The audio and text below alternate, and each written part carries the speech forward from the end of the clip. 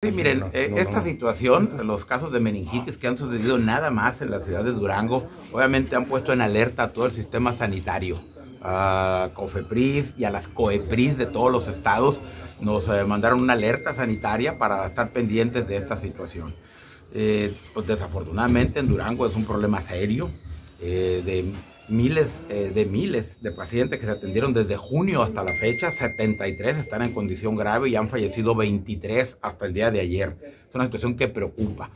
Obviamente están volcadas todas las autoridades sanitarias allí en Durango y ha habido avances muy sustanciales en la investigación. Primero, se ha determinado que no están contaminadas las ampolletas de bupivacaína que se analizaron a través del laboratorio Kayak, de un laboratorio central que tiene, que tiene COFEPRIS. No hay contaminación de las ampolletas. Eso, eso, eso se había implicado como primera posibilidad. Entonces ahorita se, está, se están viendo otros escenarios donde probablemente haya sido material contaminado el que utilizaron en estos hospitales. Son hospitales que están relacionados de una u otra manera y también los anestesiólogos que trabajan en uno trabajan en los otros. Entonces están investigando ¿no? ¿Qué, cuál fue el mecanismo exacto, pero se descartó ya que sea contaminación de las ampolletas de, de bupivacaína.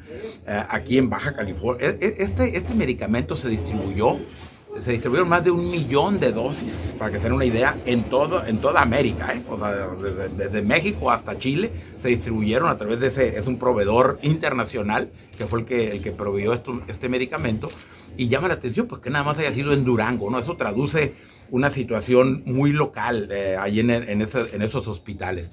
Aquí en Baja California se distribuyeron aproximadamente 500 ampolletas de esos tres lotes que son los que se identificaron como de más riesgo, eh, de las cuales este, este, se, se utilizaron 150 ampolletas y afortunadamente, pues han visto, no hemos tenido ningún caso. Y están confiscadas las otras 350 ampolletas. Eh, están confiscadas, eh, están en, eh, este, ubicadas en cada hospital donde se, donde se compraron. No las podemos este, sacar de allí, pero están obviamente resguardadas y aseguradas en espera de cualquier, de cualquier otra, otra eventualidad. Afortunadamente, en Baja California no hemos tenido ningún de, este, desafortunado caso como los que han pasado en Durango, pero obviamente, insisto, todo el sistema sanitario en el país está en alerta ante esa situación. El remover las medicinas es una medida preventiva. ¿No se detectó que estuvieran contaminadas las ampolletas que llegaron a Baja California? No, no, no se ha, tampoco se han estudiado todas, ¿eh? porque no es, no es este, una, una manera de, de analizar esto. Las que se estudiaron fueron las de Durango, donde produjeron el problema. Aquí estas ampolletas que están resguardadas no se van a analizar porque no es, no es necesario el, hacer un análisis. Ya se, se, estudiaron las que se utilizaron en el sitio en cuestión y afortunadamente no se ha encontrado que esté contaminado el medicamento, insisto. Entonces, de Baja Post.